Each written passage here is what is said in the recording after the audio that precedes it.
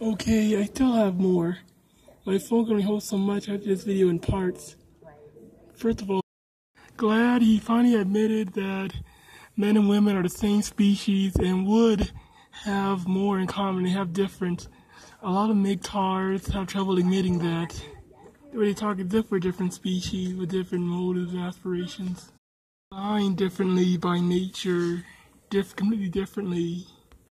Show a picture of a fish's brain inside. See, it has more gray matter than white matter. As you can see, the brain is has more white matter, the connections. It, that's a, the white matter, the connections that what makes us different, humans so special. As you can see, the majority brain is actually white matter. Animals like mice and even fish reptiles have their uh, have their gray matter going in. Well, but they still have a neural network.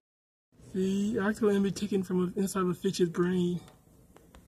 Even those creases about that extends the cortex area, that's actually pushed out through white matter. Those wrinkles are the guide thought. They themselves are connections. When you lose something like a bar of soap in a specific area, you break a lot of connections. But if it's overall, then the same. Comparing it to comparing it to stroke victims is uh, effing retarded.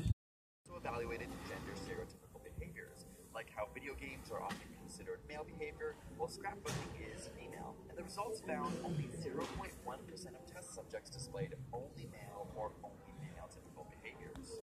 Results go on the individual level. What he says is, well, they took a bunch of men, uh, best and the worst, and compared uh, and put girl women in the middle and to say, oh, we're not, we're all equal. But really, they study stuff on the individual level, behaviors, feminine and masculine behaviors, and, th- and the result 0.1%. That's the, that goes down to the individual level. Also says goes on to say that this video he's trying to debunk says that men are trying to say women are better than boys. No, it's not. It's math and science, women consistently receive better grades in 70% of nations. But on SAT testing in the US, men score 33 points higher in math and science. Other tests, like the Program for International Student Assessment, show both sexes performing equally in several countries, with girls performing better in some, like Iceland, suggesting cultural and environmental differences and not necessarily biological differences at play. Now, this is where the bullshit starts. So the question then becomes do women really outperform men in high school? The answer is yes, but there's reasons why. So I'd like to link those reasons are still cultural. Why girls tend to get better grades than boys do. They're still cultural. They're not saying that.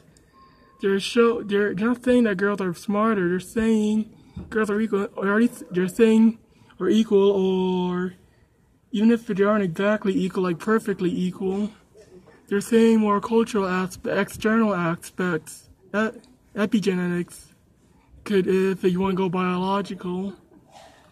Also, with ner- you're going over nurture, and you have to have examples to prove it. Debunking is who is inherently smarter, inherently. The factor in is how much of the brain is glial cells or blood vessels, support tissue that takes up space. A, uh, a huge percentage of the unspecific percentage of the cortex, the neocortex is blood vessels and glial cells. Depending on how hard you mentally work, how much you need those supporting tissues, in which men often need those supporting tissues a lot more, larger blood vessels, the more glial cells.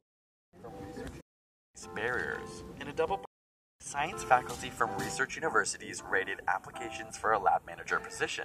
What they didn't know is that the applications were randomly assigned either male or female names. As a result, faculty perceived the male applicant names to be significantly more competent, hireable, and deserving of mentoring, even though the applications with female names were identical.